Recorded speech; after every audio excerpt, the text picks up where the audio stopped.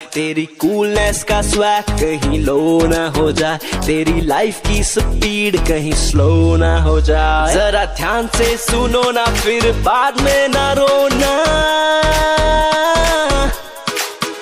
थोड़ी केयर तो करो ना हाल अच्छे से दो ना लेट्स रोको कोरोना थोड़ी केयर तो करो ना